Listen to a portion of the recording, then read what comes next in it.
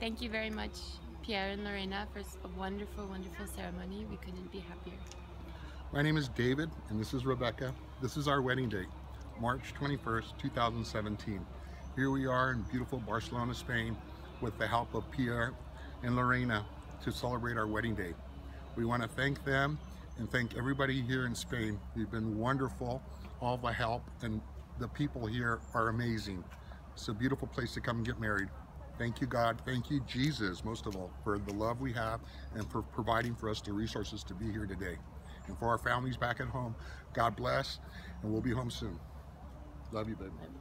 Mm. Cheers to us. Cheers.